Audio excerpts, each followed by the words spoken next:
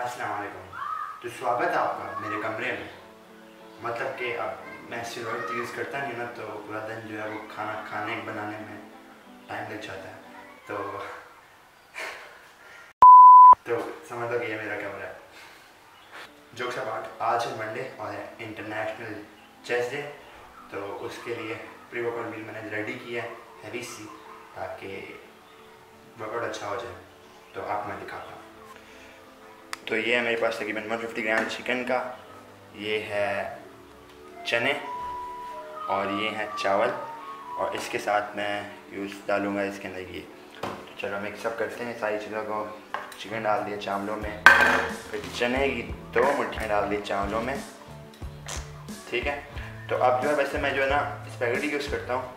Spaghetti आज नहीं थी तो मैंने कहा, ठीक है, ये यूज़ करते हैं। और सेकंड बात तो सामान वैसे ही ख़त्म हुआ है। तो इसलिए मेरे पास सॉस भी नहीं थे, जो मैं यूज़ करता था तो इसी वजह से मैंने नस्ले की दही यूज़ किया ज़्यादा ना यूज़ करना यार, क्योंकि वर्कआउट से पहले जो है ना, अगर तुम्हारे पास टाइम नहीं है गेम लगाने में तो तुम जो है वो फैट्स ज़्यादा कंज्यूम ना करो।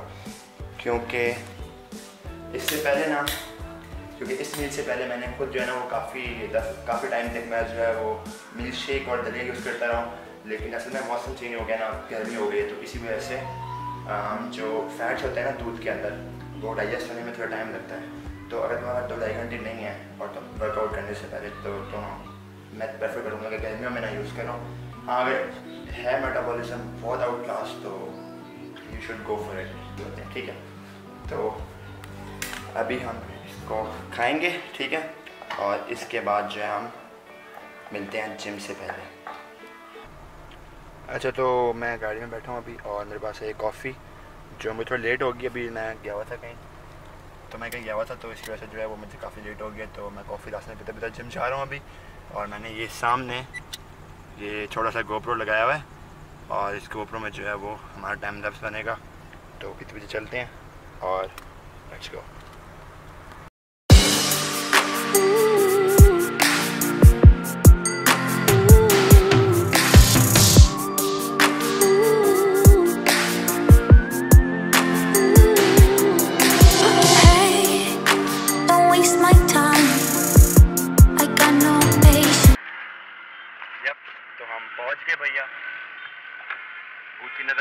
नहीं बट हम पहुँच गए।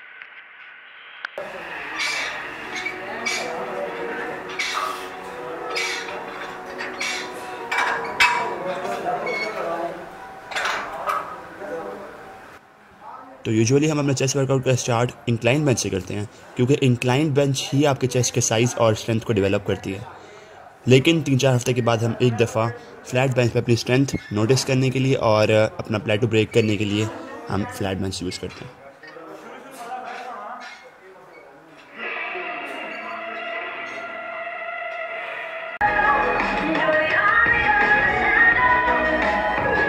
आर्च दिया है आर्च